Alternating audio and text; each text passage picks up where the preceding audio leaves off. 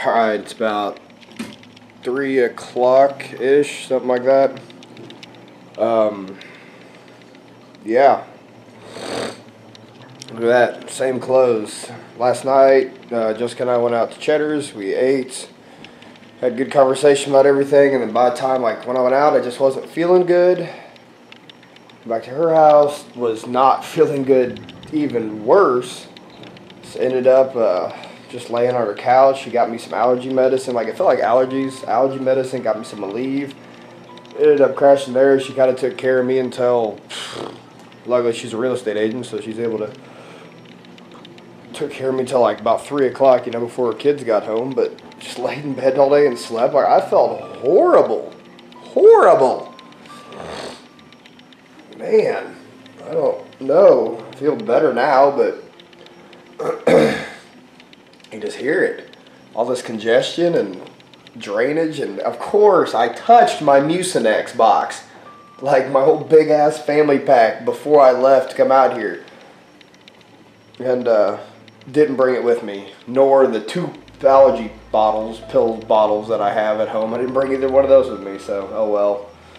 I'm going home tomorrow, probably in the morning, early afternoonish, because I got that appointment to tint my windows at 3:30 on the train. So, uh, no big. I'll just suffer through. Not too terribly bad. but um, yeah, I'm probably just gonna eat something so I can finally really eat today. Got my little, got my little corner set up with my blender, my protein, all that stuff. Then I got my milk, got some cherries and carrots. Got my little my little lunch box in there, just stuff that I can eat on the go, eat while I'm uh, quickly. But the nice part is I can make some phone calls. I've already been doing some other phone calls and getting some other things, you know, figured out and set up. So that's been a big thing that I've been doing. But uh, I'm, I'm probably just gonna chill today and just relax. It's been good getting some stuff, getting situated, acquainted, you know, out here driving around, just getting stuff figured out. So I can, you know, start nailing it harder next week. But this has been a jacked up week for how I'm feeling and everything. It's nuts. Ugh, can't win them all, but hey, you know, this is just kind of the part of it. Like, this is what I want to show you guys. Like, I'm just jumping into something new, and look at it. It's not going smooth, so to speak. Like, I'm forgetting stuff. Like, all these allergies and sinuses that come out of nowhere, and I don't only get allergies during springtime when trees are blooming. So, I mean, things aren't going to go right, but you got to persevere and keep going forward. So, let alone I'm not going to go be setting up business.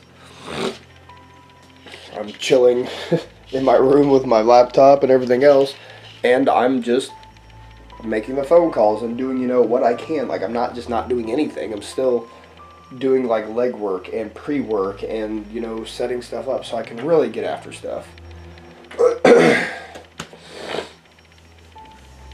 That's just that's what you have to do, people.